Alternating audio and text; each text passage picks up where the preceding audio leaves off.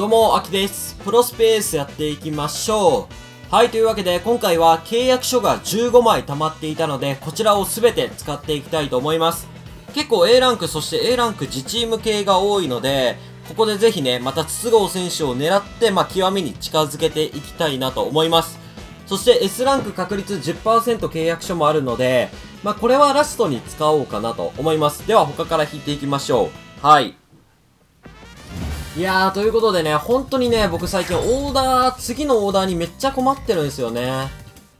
あ今、ミート型で固めていて、こう、パワー型にこう、変えていかないとね、筒香選手とか入れられないんですけど、あと山田選手がね、ミートパワー同値からパワー型に確かなってるんで、次のオーダーがすごい悩んでます。はい。うん。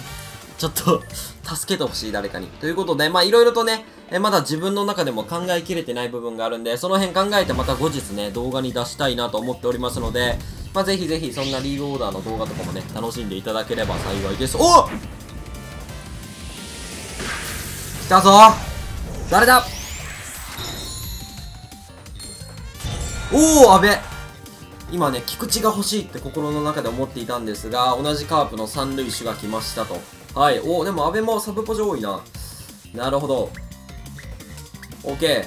いいっすね。OK。これ期待できるよ。これからも。行きましょう。ようやく確定演出を覚えました。秋でございます。行きましょう。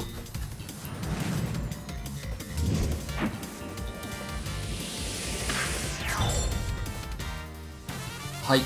よしよし、ナイスナイス。まあ、ということでね、まあ最近本当にプロスピの動画も高評価増えてきて、まあいっぱい動画出していきたいと思いますのでね、ガチャ動画も好きだよ。そしてね、リーグオーダーとか語る動画も好きだよっていう人、ぜひね、高評価とかを押していってほしいですね。で、今度僕、プロスピーにすごい似た、まあ似てはないかな。結構面白い野球のゲームがまた出たんで、その実況も始めていこうかなと思うんで、ぜひぜひ動画出したらまた見ていただければと思います。多分、プロスピやってる人はね、かなり楽しめる、えー、ゲームなんじゃないかなと思います。はい。よし、行こう。いいね。やっぱゴールド契約書から S ランクが出るのは本当嬉しいっすね。一番興奮しますよね。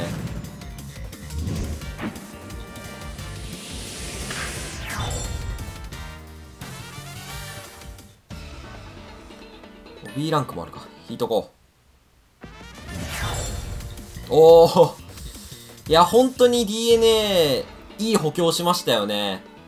もう本当に、我がジャイアンツに教えてあげてほしい補強というやり方を。いや、むしろ山口も放出して、年俸を抑えて若いいいピッチャーを取ったって考えると、ね。でも完全に補強がうまいチームですよ、DNA は。お、菊池雄星。よし、行きましょう。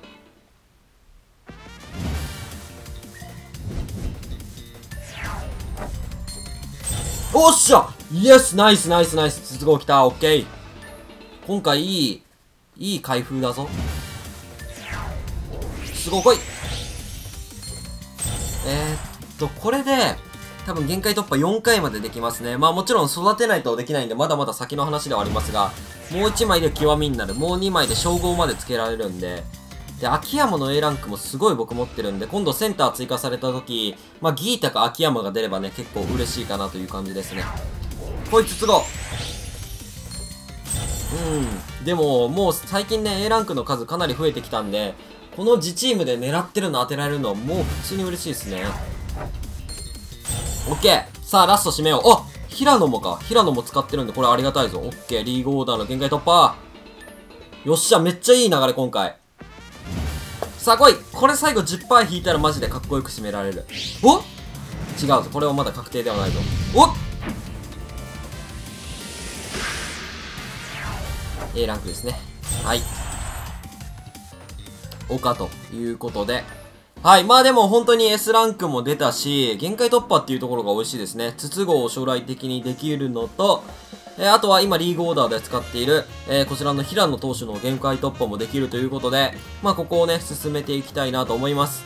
で、さっき言ってたそのね、ミートパワーのやつはほんとね、難しくって、ここがパワー型になっちゃうんですよね。新しいシリーズの引けて。なのでまあここ、しばらくもしかしたら変えないかもしれないというか、継承しないかもしれないですね。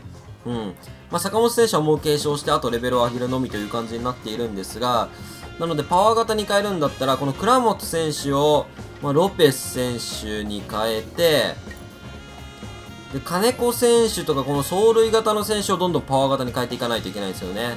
まあ、候補としてあるのは野村健次郎さん、バレンティンの極み。まあでもシリーズ1だからな、この辺。あとはまあ最近引いた原口っていうところですかね。この辺をうまく入れつつ、まあ12球団のコンボも維持して、かつ今のスピリッツよりは上げないと結局意味がないんで、そこが難しいんですよね。